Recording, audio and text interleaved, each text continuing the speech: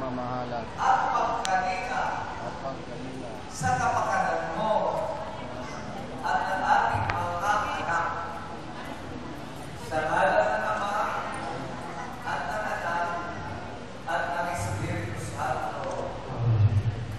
Ngayon, ang mga kapakanan, ingay na ingay. Hindi na sa mga. Magpupulita. Bawal naman na yung mga sa salita.